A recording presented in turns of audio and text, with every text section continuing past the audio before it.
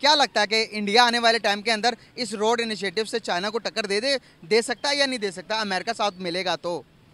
देखिए जहाँ super power की बात आई थी ना वो कुछ भी कराने के लिए राज़ी हो जाते हैं। नहीं इंडिया चाइना को बीट नहीं कर सकता। देखिए चाइना इंडिया के पास पॉपुलेशन ही है ना और क्या इंडिया के पास? इकोनॉमी उनकी चाइना के बराबर नहीं है। अब देखें ना कि अमेरिका जो सा यूएसए है उसने भी जो सा चाइना से लोन लेके तो वो मार्केट में सर्वाइव कर रहा है। लेकिन अभी इंडिया तीन दफ़ा जा चुके हैं उसके बाद भी पाकिस्तान वो एक दफ़ा भी जब से प्रेसिडेंट ऑफ़ अमेरिका बने हैं तब से एक दफ़ा भी नहीं आए। तो आप लोग और कह लेना एब्सोल्युटली नॉट कह दें एक दफ़ा और। नहीं चल रही? तो मुकाबला पॉसिबल है उनका? दोस्त मुकाबले की बात होती है ना तो मुकाबला जोश और हिम्मत पे लड़ा जाता है। अच्छा। वो हम में बहुत है। क्या वजूहत है कि आपको किस वजह से लगता है? चाइना जो है ना वो आपका उसका एक तो लैंड आप देखें कहाँ से स्टार्ट होता है दुनिया में और कहाँ जा खत्म होता है। ऑल ओवर द मतलब कि एशिया से स्टार्ट होता है और यूरोप में जाके वो चाइना के जो सा लैंड खत्म होता है। कि आप उनको मुकाबला कर सकते हो सिर्फ़ और सिर्फ़ लड़ाई में। हाँ। हम मुकाबला एजुकेशन में क्यों नहीं कर लेते? हाँ। हम मुकाबला टेक्नोलॉजी में क्यों नहीं कर लेते? लीटर वो बड़ा मुश्किल था अब तो तीन सौ प्लस हो गया।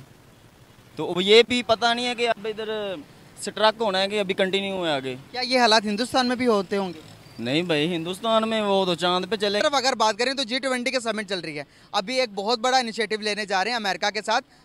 अमेरिका के साथ इंडिया और उसके साथ मिडल ईस्ट और यूरोप को एक रोड पर रेल की पटरी बनाई जाएगी जिसको रेल से जोड़ा जाएगा सारे मुल्कों को आपस में। क्या लगता है कि इंडिया आने वाले टाइम के अंदर इस रोड इनिशिएटिव से चाइना को टक्कर दे दे दे सकता है या नहीं दे सकता? अमेरिका साथ मिलेगा तो। देखिए जहाँ सुपर पावर की बात आई थी ना वो कुछ भी कराने के लिए राज़ी हो जाते हैं। अच्छा। हाँ हमारी एक ट्रेन का इनिशिएटिव है जो यहाँ से लाहौर से जो है तुर्की में जाती थी। आज से कोई सौ साल पुरानी बात है। वो अभी तक बहाल नहीं हुई। वो बहाल नहीं हुई जो बनी हुई ट्रैक है एक अभी। और एक जो अभी क्या कहते हैं आपने सुपर पावर वाले की बात बताई है वो अभी इनिशिएटिव लेके उसके ऊपर एग्जीक्यूशन शुरू कर चुके हैं। ठीक है? तो आप अगर बेसिकली इस चीज़ का कंपैरिजन करते हैं तो मेरे ख्याल से फ़ायदा तो उन लोगों का होगा जो इस वक्त सुपर पावर के साथ हैं। हमारे साथ सुपर पावर कोई भी नहीं है। हमारे साथ अगर आप कहते हैं कि है तो सही। सर चाइना बेशक आपके साथ है लेकिन आपको ये नहीं पता कि अफ़गानिस्तान आपने ईरान और क्या कहते हैं एक और कंट्री का नाम लिया जिसके ज़रिए से रोड गुजर के जा रहा है।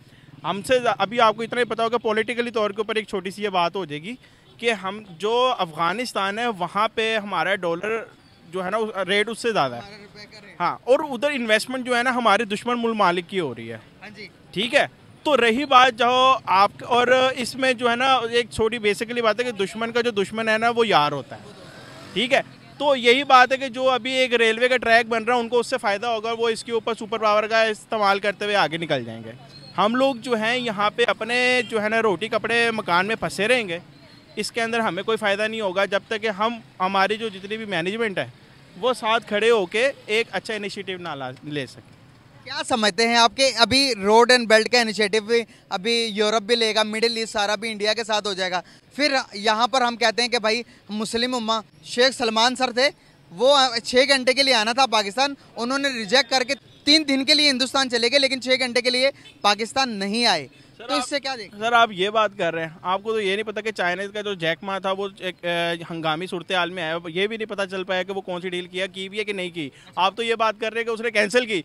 एक बंदा जो यहाँ से आके पता नहीं निकल भी गया उसके बारे में किसी ने पूछा ही नहीं है। हाँ जी जैकमा के बारे में नहीं पूछा। ठीक है ना? तो जैकमा तो वो है जो दुनिया के अमीर तरीन तीन बंदों में से आता है। और आप जिसकी बात कर रहे हैं वो तो अभी सलमान साहब की आपने बात की वो तो इन तीन चार पाँच में नहीं आते। ठीक है? अगर उनके छः उनका इतना मसला नहीं है अगर वो आते हैं नहीं आते हैं, उनके साथ तो ऐसे ताल्लुक अच्छे हैं। लेकिन उनके आने से कंट्री का जो इमेज जाता दुनिया के सामने हमारा एक पॉजिटिव इमेज जाता। लेकिन उन्होंने भी आने से रिफ्यूज़ कर दिया।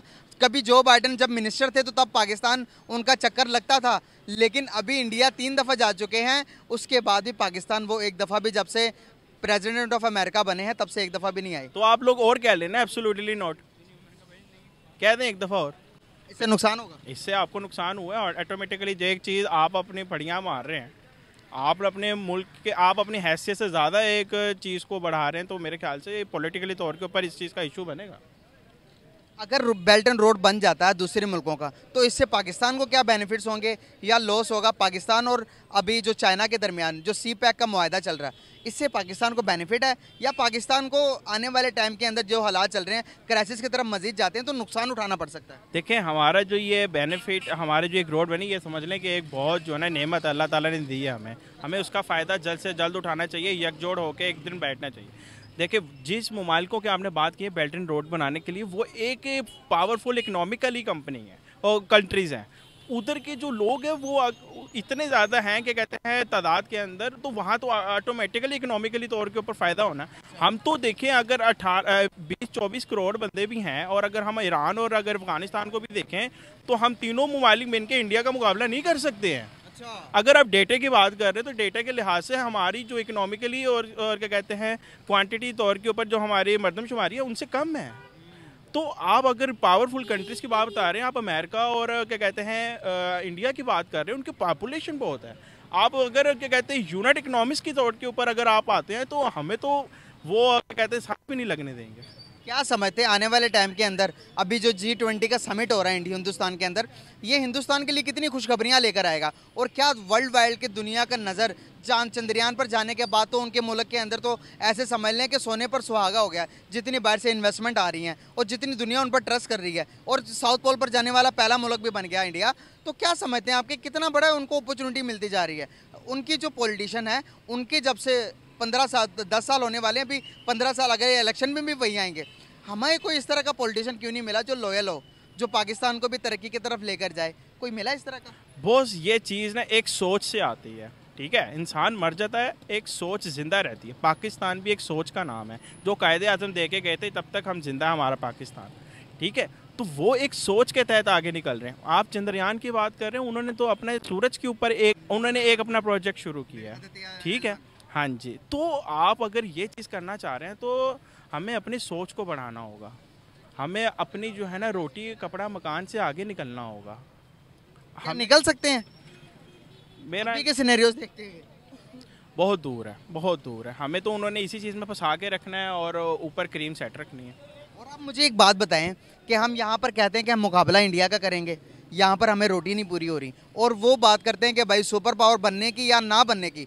अगर आप जज्बात को थोड़े साइड पर रखकर आप मेंटली तौर पर, मेंटल को थोड़ा हाजिर रखे, दिमाग को हाजिर रखे, सोचेंगे तो लगता है कि मुकाबला करने के लिए जिस तरह के हमारे हालात हैं, न साइंस से हमारी दूरी। हम कोई बात साइंस पे करते ही नहीं है। अगर साइंसदानों की बात करें तो हमारा भी कोई स्पेस एजेंसी है।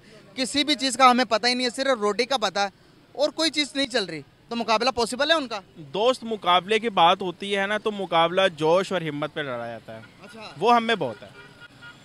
ठीक है अगर हम कहते हैं ना अगर रोटी कपड़ा मकान नहीं है तो उस बेस पे भी हम जोश से लड़ जाएँगे। कैसे लड़ोगे?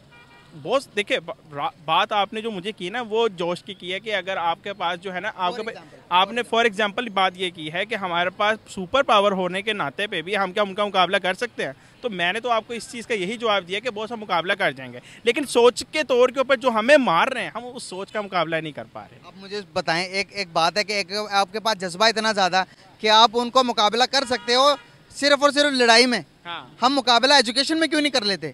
हम मुकाबला टेक्नोलॉजी में क्यों नहीं कर लेते? फैक्ट है ना, हम अपनी सोच को, हम थिंकिंग को लड़ाई झगड़े से पहले ही पाकिस्तान को कहा जाता है कि टेररिस्ट स्टेट है। यहाँ पर इस वजह से कि हमारी सिर्फ़ और सिर्फ़ लड़ाई झगड़ों में भी हमें फंसाया गया। नहीं भाई, हमें टेक्नोलॉजी की तरफ़ जाना, हमें एजुकेशन में डेवलपमेंट करनी है। दुनिया हमारी मिसाल दे। ऐसा हो सकता पॉसिबल और पॉसिबल होने के लिए कुछ भी हो सकता है। आपने मेरे सवाल का खुद ही जवाब दे दिया कि हम टेक्नोलॉजी के और सोच के तौर जो है ना, एक जीती जाती साजिश का शिकार हो रहे हैं। ठीक है? जब तक हम साथ बैठ के इन सब चीज़ों को पसे पुश नहीं डाल सकते हम आगे नहीं बढ़ सकते। और जज्बे की भी बात की आपने कि हम में बड़ा जज्बा क्या किस चीज़ का जज्बा? देखिए जज्बा बहुत देखिए हमारी जो है ना जज्बा जो आता है ना हमारे ईमान से आता है। हमारे ईमान का ईमान है देखिए, मौजूदा सूरत हमारे ईमान का हिस्सा कि हमने अपने मुल्क के साथ उसके साथ प्यार करना है। तो वही चीज़ हमें जोश जलाती है। उसी जोश के बदले में हम लड़ना लड़ सकते हैं। बिल्कुल सही लड़ना चाहिए। सिर्फ़ लड़ना इसलिए चाहिए कि हमें आओ भाई तालीम के लिए लड़ते हैं। आओ भाई एजुकेशन के लिए लड़ते हैं। आओ भाई टेक्नोलॉजी के लिए लड़ते हैं कि कौन ज़्यादा डेवलपमेंट की तरफ़ जाता है। क्या लगता है कि आपको अब जो लड़ाई रह गई है, जज्बे के हाथों में तरवाल लेकर, डंडे लेकर आप किसी से लड़ने जाओगे, एक मुल्क जिसके पास हर किस्म की टेक्नोलॉजी है, वो बायो बायो जंग लड़ सकता है। उस मुल्क के पास ऐसी टेक्नोलॉजी है जो कि हर चीज़ की आप देखो कि उनके मिसाइल के रेट चाँद तक है। उस मुल्क से लड़ने के लिए उस मुल्क की जैसी तैयारी करनी पड़ेगी ना भाई? बॉस बात यह है कि देखिए इन चीज़ों की तैयारी करने के लिए ना हमारे जो वुजरा है ना वो पढ़े लिखे आने चाहिए। देखिए टेक्नोलॉजी के लिए अगर आप तो उसकी टेक्नोलॉजी पे उसने कोई पढ़ा लिखा या उसके बारे में शौर है उसका कोई एक्सपीरियंस है तो, तो वही आगे बैठेगा। अब जिसके बाद पैसा वो करोड़ों रुपए दे के जो है मिनिस्टर बन जाता है क्या वो बंदा आके हमारी चीज़ टेक्नोलॉजी को सही करेगा? ऐसा नहीं हो सकता। तो हम आप मान गए आप मानते हैं कि हमें फॉल्ट है हमारे एजुकेशन सिस्टम में फॉल्ट है इसको ठीक हर चीज़ में करप्शन है और इसके अंदर फॉल्ट है। ज़बरदस्त हो गया बहुत शुक्रिया बहुत अच्छा लगा बात करके थैंक यू अस्सलाम वालेकुम। इस्लाम सर कैसे हैं आप? अल्हम्दुलिल्लाह अल्हम्दुलिल्लाह ठीक हूँ खैरियत से। सर नाम आपका? वक्कार मेरा नाम है। सर क्या करते हैं? मैं बैंकर हूँ जी। माशाल्लाह सर गाइस हमारे साथ एक बैंकर मौजूद हैं। सर बात करने का पर्पस ये है कि यहाँ पर आपने देखा होगा सी पैक जो चाइना का बेल्ट एंड रोड इनिशिएटिव है उसके अंदर तीन चार कंट्रीज़ आती हैं पाकिस्तान अफ़गानिस्तान ईरान और चाइना। इनको मिलाकर रोड बना रहे हैं चाइना के, जिससे चाइना के अंदर भी हमारे लिए भी फ़ायदा हो, ऐसा तो कहने को, सुनने को मिल रहा है। लेकिन इसके बरक्स अभी जी ट्वेंटी के मीटिंग के अंदर एक बहुत बड़ा इनिशिएटिव लेने जा रहा है इंडिया यूएसए उसके बाद मिडिल ईस्ट सारा, उसके बाद यूरोप के दरमियान एक सबसे बड़ा रोड बनाने जा रहे हैं, रेलवे लाइन, रेलवे पटरी। क्या समझते हैं कि ये बनने के बाद क्या चाइना को टक्कर दे पाएगा इंडिया क्या चाइना को बीट कर पाएँगे फ्यूचर के अंदर? क्या समझते हैं नहीं देखिए इंडिया का उससे यूरोप के वो रोड अगर वहाँ पर डेवलप कर रहे हैं तो इंडिया का उससे क्या ताल्लुक है? इंडिया तो एशिया में स्टैंड करता है। अगर तो रोड अगर इंडिया मतलब एशिया में स्टैंड करती है तो फिर तो जो है ना वो चाइना को टक्कर मतलब देने का सवाल पैदा होता है वो दे पाएँगे या नहीं दे पाएँगे। तो उसमें आई डोंट थिंक सो कि चाइना को टक्कर देगा। चाइना जो सा है इकोनॉमिकली भी और जो सा है वैसे भी अब आपका वर्ल्ड पावर बनने जा रहा है। तो इनफैक्ट हो चुका है बन, बन चुका है वर्ल्ड पावर तो मेरा नहीं ख्याल कि वो ये जो सा चाइना को अफेक्ट कर सकेंगे। वो चाइना पूरी इस वक्त मार्केट पे जो सा है ना आपके वो छाया हुआ है। आप हर जहाँ पे दुनिया के जिस कोने पे क्योंकि मैं अब्रॉड भी काफ़ी ट्रैवल करके आया हूँ अभी देख फिर घूम के आया हूँ। हर चीज़ आपको जो है ना मेड इन चाइना हर जगह अवेलेबल है इजीली अवेलेबल और बड़ी चीप मतलब कॉस्ट पे जो है ना वो आपको प्रोवाइड की जाती है। जी। सर यहाँ पर बताना चाहूँगा ये जो बेल्ट एंड रोड इनिशिएटिव है ये सिर्फ़ और सिर्फ़ चार मुल्कों का नहीं होता ये पूरे के पूरे जितने भी कंट्रीज़ है उस चाइना ने इंडिया को भी ऑफ़र करवाई लेकिन इंडिया ने रिजेक्ट कर दी कहा कि भाई हमें समझ में नहीं आता हम आपके इस इनिशिएटिव के अंदर पार्टिसिपेट नहीं करेंगे। तो इंडिया अभी यूएसए के दरमियान मिलकर तो चाइना के अभी यूएसए को लगता है कि चाइना आने वाले टाइम को सुपर पावर बनेगा। तो इंडिया को जिस तरह से सपोर्ट मिल रही है यूएसए की जो बाइडन की तरफ़ से जो बाइडन तीसरी मरतबा आ रहे हैं इंडिया के अंदर। बड़ी बड़ी कंट्रीज़ के, अभी 20 कंट्रीज़ के जो प्रेसिडेंट हैं प्राइम मिनिस्टर्स वो इंडिया आए हुए हैं, आ रहे हैं आहिस्ता आहिस्ता ये कुछ टाइम के अंदर वो समिट भी हो जाएगा जी ट्वेंटी क्या समझते हैं कि ये समिट भी हो गया, उसके बाद बड़ी बड़ी कंपनीज़ भी इन्वेस्टमेंट कर रही हैं। आने वाले टाइम के अंदर आपको नहीं लगता कि चाइना को बीट कर जाएगा?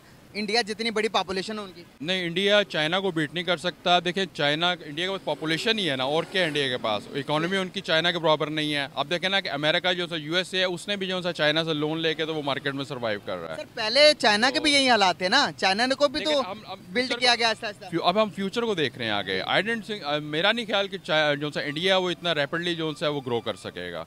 उसमें ये कि चाइना को कम्पीट नहीं कर सकेंगे ये लोग ना। सर अभी कि अगर आप स्टेटस स्टेटस देखेंगे किसी भी चीज़ के तो हर चीज़ के अंदर, बीट करते हुए नज़र आ रहा है इंडिया चाइना को। बाहर एक्सपोर्ट की बात करेंगे तो एक्सपोर्ट के अंदर भी इंडिया बीट कर रहा। अभी तो इंडिया के पास कोई इतनी इतनी बड़ी जितनी चाइना की इंडस्ट्री उतनी भी नहीं है। लेकिन चाइना की economy day by day downfall का शिकार होती जा रही है, जिधर इंडिया बूस्ट कर रहा। लेकिन इसमें मेरा नहीं ख्याल कि ये चाइना को अगर अगले फिफ्टी ईयर्स में भी जो है ना इंडिया जो कम्पीट कर पाएगा। मेरा नहीं ख्याल कि जो सा ना इसमें पॉसिबल है उसके लिए इंडिया के लिए ना। क्या वजूहत है कि आपको किस वजह से लगता है? चाइना जो है ना वो आपका उसका एक तो लैंड आप देखें कहाँ से स्टार्ट होता है दुनिया में कहाँ जा ख़त्म होता है। ऑल ओवर द मतलब एशिया से स्टार्ट होता है और यूरोप में जाके वो चाइना के जो सा लैंड ख़त्म होता है। तो इंडिया जो है वो अ, अपनी जो सी अंदर अब जो सिचुएशन क्रिएट होती जा रही है। सिख बरदरी जो सी है और दूसरी जो उनके जो सी है वो कौमें जो सी हैं अब वो उठ रही हैं इंडिपेंडेंस के लिए। तो इंडिया के लिए मुश्किल है अभी। वो, मेरा नहीं ख्याल कि इंडिया इतनी मतलब कि जल्दी ये जो है ना इसमें चाइना कम्पीट कर सकता है। सर, यहाँ पर हमने इंडिया और चाइना की बात कर ली, कौन सुपर पावर बनेगा और कौन नहीं बनेगा। इसमें हम अपनी भी बात कर लेते हैं, हम कहाँ लैग कर रहे हैं, हम क्या आगे जो कि हमारे हालात हैं, क्या हम सर्वाइव कर सकते हैं या नहीं कर सकते, क्या सिचुएशंस देखते हैं। पिछले अगर हम सेवेंटी सिक्स ईयर्स को देखते हैं, हमारा जो, सामने जो ग्राफ आता है मुल्क का, कोई इतनी बड़ी प्रोग्रेस नहीं की हमने। समझते हैं कि मुल्क संभाला नहीं गया हमसे। क्या मुल्क की भागदौड़ हमारे जो जो पॉलिटिशियन उनसे संभाली नहीं गई क्या सारी सिचुएशन है? देखिए मैं आपको इसमें बात बात बताऊँ कि हमारे पॉलिटिशियंस भी और हमारे जो अवाम भी है ना जो उनसे हम हम हम लोग अपने खुद अपने मुल्क के साथ फेथफुल नहीं है। ये देख लें आप लोग कहाँ पे हम लोग स्टैंड कर रहे हैं? जब तक हम लोग खुद इनके साथ अपने मुल्क के साथ फेथफुल नहीं होंगे हम मतलब कि अब ये नहीं समझेंगे हमारा मुल्क है। अब ये देखें कचरा गिरा हुआ है सारा। ये हम लोगों ने गिराया ना बाहर से आके तो नहीं किसी ने गिराया। अगर हम समझे कि हमारा मुल्क है तो हम ये खुद उठाएँ इनको सब। तो इसलिए जो है ना ये कहना अभी कि भाई हम लोग ठीक है सियासतदानों ने हम हम ही उन सियासतदानों को वोट दे के लाते हैं। ये नहीं है कि वो खुद ही आ जाते हैं। हम ही उनको लाते हैं लेकिन फिर बाद में कहते हैं कि जी मुल्क के साथ ये हो गया हो गया। बाद में अभी तो हमने वोट नहीं दिया वो फिर भी आए हुए तो लेकिन ये है कि अभी देखें फिर अब वो यही तीन पार्टीज़ हैं ना पीपल्स पार्टी पीटीआई और नून लीग। इनके अलावा चौथी और कौन सी पार्टी है? मुझे बताएँ जिसको हम तो इसलिए वही पुराने चेहरे बार बार आ जाते हैं। तो मेरा ख्याल है कि जब तक हम लोग अब सिंसियर नहीं होंगे अपने मुल्क के साथ हमारे actually education lack of education जो है ना वो यहाँ पे बहुत ज़्यादा इम्पेक्ट आता है। कि हम लोग मतलब कि जब तक हम लोग प्रॉपर एजुकेशन नहीं हासिल करेंगे हम लोग प्रॉपर जिसे कहते हैं ना कि हमें शौर नहीं पैदा होगा अपने अंदर डेवलप नहीं कर सकेंगे हम अपने आप को ना। क्या इंडिया का एजुकेशन सिस्टम हमसे बेहतर है? इंडिया का एजुकेशन सिस्टम तो बहुत बेहतर है बहुत बेहतर है। क्योंकि बाहर उनकी जो बड़े पढ़े हुए कंट्री से बाहर जाके सारे सीईओस लगते हैं। बड़ी बड़ी जितने भी बड़े आप बात कर लें किसी भी इंडस्ट्री के अंदर आप सॉफ्टवेयर इंडस्ट्री के बात कर लें आप आईटी में बात कर लेंगे तो वहीं मिलेंगे आपको। हम कहाँ लैक कर रहे हैं? मैं आपको बताता हूँ कि बात क्या है कि हम लोग जो है ना वो बहुत कम पैसों पे काम करने को तैयार हो जाते हैं। अच्छा। हम लोग जो है ना अपना वो हमने एक माइंड बिल्ड किया होता है कि भाई हमारा ये लेवल है इससे हम नीचे नहीं जाएँगे। हम लोग इस बात पे भी मार खा जाते हैं बाहर जाके। ये चीज़ भी जो है ना बहुत ज़्यादा इम्पेक्ट करती है हमारे ऊपर ना सर तो, बहुत ही अच्छा लगा आपसे बात करके। Thank you so much and very nice to talk with you sir thank you thank you thank you very nice अस्सलाम वालेकुम वालेकुम सलाम। सर कैसे हैं आप? अल्हम्दुलिल्लाह अल्लाह का शुक्र आप सुनाएँ। अल्हम्दुलिल्लाह मैं ठीक। नाम आपका? मेरा नाम गुलाम मुस्तफ़ा है। क्या करते हैं? ये मैं इन ड्राइवर पे राइड चला रहा हूँ। अच्छा राइड चला रहे हैं। क्या किया हुआ? क्वालिफिकेशन क्या है? मेरी ग्रेजुएशन है। अच्छा ग्रेजुएशन करने वाला बंदा राइड चला रहा है। बस मजबूरी है, जो हालात है आपको पता ही है, जिस तरह चल रहे हैं, गुजर बसर मुश्किल हो गया हाँ। जी।